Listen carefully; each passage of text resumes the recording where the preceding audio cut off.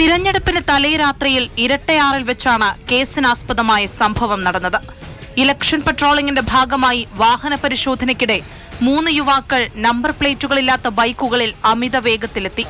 റോഡിൽ നിന്ന് കൈകാണിച്ച പോലീസ് ഉദ്യോഗസ്ഥനെ ഇടിച്ചു വീഴ്ത്തി നിർത്താതെ പോയെന്നാണ് കേസ്.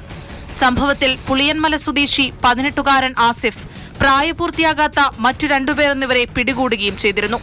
എന്നാൽ ആസിഫിനെ വ്യക്തിവൈരാഗ്യത്തിന്റെ പേരിലാണ് Kattappana S I Sunek James കള്ളക്കേസുണ്ടാക്കി കാക്കനാട്ടെ ബോസ്റ്റൽ സ്കൂളിലേക്ക് മാറ്റിയതെന്നാണ് ആസിഫിന്റെ മാതാവ് ഷാമില ബീവി ആരോപിക്കുന്നത്. ഏതാനും നാളുകൾക്ക് മുൻപ് ആസിഫിന്റെ ബൈക്ക് പോലീസ് പിടികൂടിയിരുന്നു. ഇതിനെക്കുറിച്ച് കുവൈറ്റിലുള്ള മാതാവ് പറയുന്നത് ഇങ്ങനെ നിന്റെ അമ്മ പാർട്ടി പരവുമായും ജോലി സംബന്ധമായിട്ട് ഉദ്യോഗസ്ഥ പവറും വെച്ചുകൊണ്ട് നിന്റെ അമ്മ നിന്നെ പുഷ്പം പോലെ കോടതിക്ക് വണ്ടി പിടിപ്പിക്കാതെ ഇറക്കിക്കൊണ്ട് പോയില്ലേടാ. പോലീസിന്റെ യൂണിഫോമിന്റെ മഹിമ എന്നാന്ന് കാണിച്ചു തരാടാ. നിന്നെ റിസോർട്ടിൽ കൊണ്ടുപോയി ഞാൻ എന്താ കാണിച്ചിരുന്നത് നിനക്ക് പഠിപ്പിച്ചു തരാടാന്നൊക്കെ പറഞ്ഞ് മോനെ വണ്ടിക്കകത്തിട്ട് ഭീഷണിപ്പെടുത്തി നേരെ സ്റ്റേഷനിൽ കൊണ്ടുപോയി. C C T V camera ഇല്ലാത്ത സൈഡിലേക്ക് കൊണ്ടുപോയി എന്നെ. മോനെ ഒരുപാട് ആദ്യം ചെവുക്കലിനിട്ടും പുറത്തിനിട്ടും ഒക്കെ ഒരുപാട് ഇടിച്ചെന്ന് പറഞ്ഞു. ആ കൂട്ടത്തിൽ മനു അദ്ദേഹം എന്ന് പറഞ്ഞ മനു സാർ എന്ന് പറഞ്ഞ അദ്ദേഹം എന്റെ മോനെ ഉപദ്രവിച്ചായിട്ടാണ് ഈ മോൻ പരാതി എന്നോട് പറഞ്ഞേക്കുന്നത്. എന്റെ മോനെ എനിക്ക് നിലവിൽ സംസാരിക്കാൻ കിട്ടിയിട്ടില്ല കണ്ടിട്ടില്ല. എനിക്ക് ഒരറിവുമില്ല. നിലവിൽ എന്റെ കുഞ്ഞിന്റെ അവസ്ഥ എന്നാന്ന് പോലും എനിക്ക് മനസ്സിലാകുന്നൊരു സാഹചര്യമില്ല.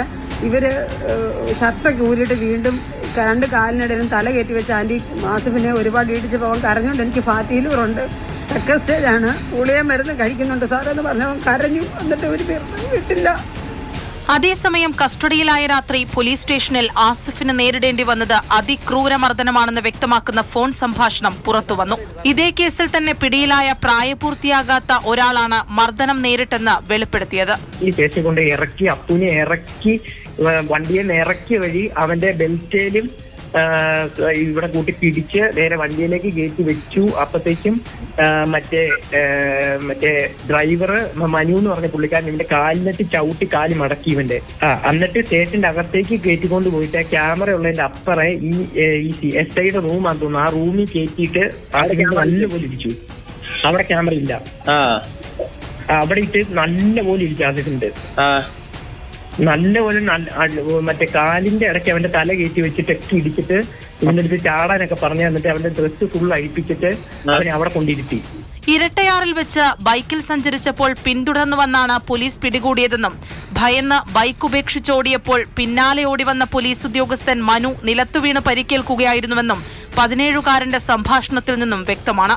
പോലീസ് സ്റ്റേഷനിലെ മർദ്ദനത്തിന് ശേഷം വൈദ്യ പരിശോധനയ്ക്ക് കൊണ്ടുപോകുമ്പോൾ ഡോക്ടറോട് മർദ്ദനമേറ്റ വിവരം പറയരുതെന്ന് ഉദ്യോഗസ്ഥർ ഭീഷണിപ്പെടുത്തിയതായും ഇതേ ഫോൺ സംഭാഷണത്തിലുണ്ട്. കള്ളക്കേസിനെതിരെ ഉന്നതാധികാരികൾക്ക് പരാതി നൽകുമെന്ന് ആസിഫിന്റെ മാതാവ് പറഞ്ഞു. സംഭവത്തിൽ കൂട്ടാർ സ്വദേശിയായ എസ് ഐക്കെതിരെ മനുഷ്യാവകാശ കമ്മീഷന് പരാതി നൽകിയിട്ടുണ്ട്.